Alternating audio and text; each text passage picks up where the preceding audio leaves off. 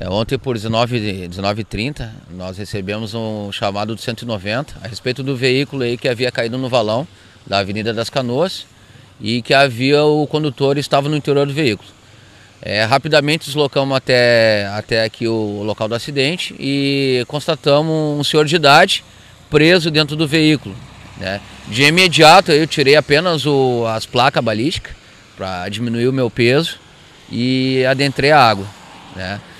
As portas da frente estavam é, lacradas, né, devido à, água, e o senhor ainda estava dentro do veículo ainda, é, mas já com bastante frio, devido à água estar bem gelada. Consegui entrar dentro do carro pela porta traseira, né, retirando o cinto e empurrando ele pela, pela janela. Então foi a forma que eu consegui tirar rapidamente, pois o veículo estava submergindo estava é, afundando com muita água no interior.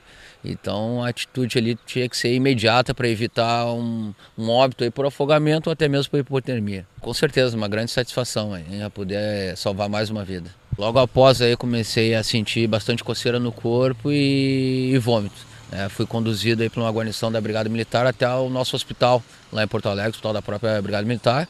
Fui bem atendido, fiquei em observação, tomei medicação e por volta das 3 horas da manhã fui liberado.